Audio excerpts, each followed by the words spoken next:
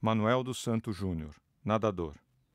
Ele foi finalista nos Jogos Olímpicos de Roma em 1960, na prova mais importante da natação, os 100 metros nado livre.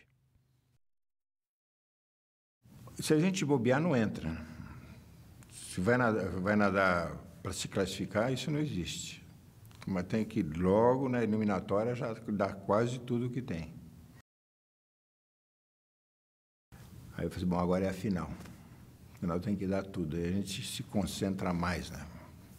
Porque é naquele momento.